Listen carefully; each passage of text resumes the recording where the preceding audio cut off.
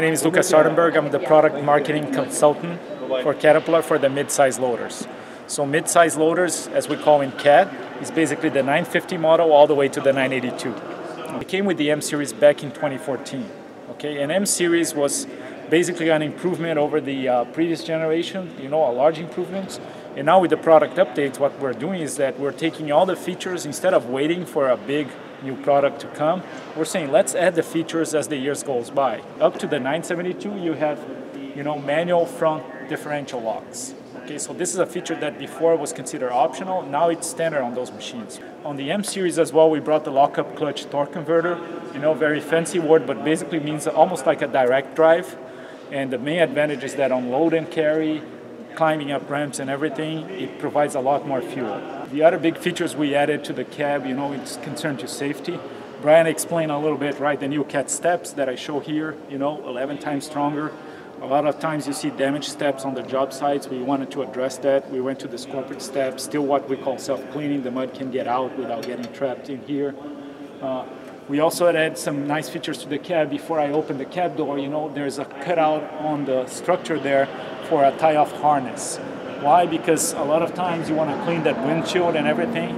Regulations require you to have a tie-off point, so we added a tie-off point to the machine itself in the interest of safety. So a lot of that is small details, but they make the difference, right?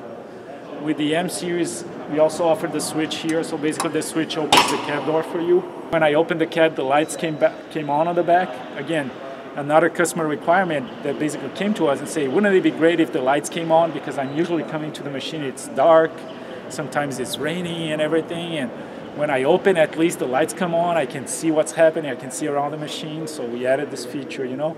Looks like small things, but once you combine all those small things, it, it's a significant update. Another feature you saw that is the green light. Basically, every time you're running a machine with the seat belt, it's green on the top. So if you see somebody running that machine without the light on, you know he's running without the seat belt, which is one of the most common citations from MSHA, for instance, right? Not wearing the seat belt. So now, even if you're the job supervisor or the superintendent sitting in the office all the way up on the hill, if you look down and you see the machine doesn't have that light on, you know somebody's operating without the seatbelt. Okay.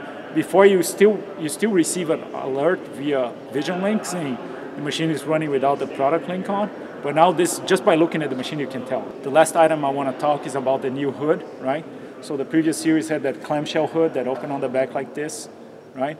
We keep the same functionality, so basically the same accessibility to the cooling cores and the engine and everything. But instead of having that two piece, now we have just this one piece hood and it's made of the new material, so it's not metallic anymore. It's basically the same ones, you know, the fender and the hood, you know, test it on the code, test it for vibration and everything to meet the requirements. You visit PPG and see how we test the machines. So really nice material. And the good news is that if you have an earlier version M series with the steel fenders, you can still retrofit the new generation fenders or the new generation hood.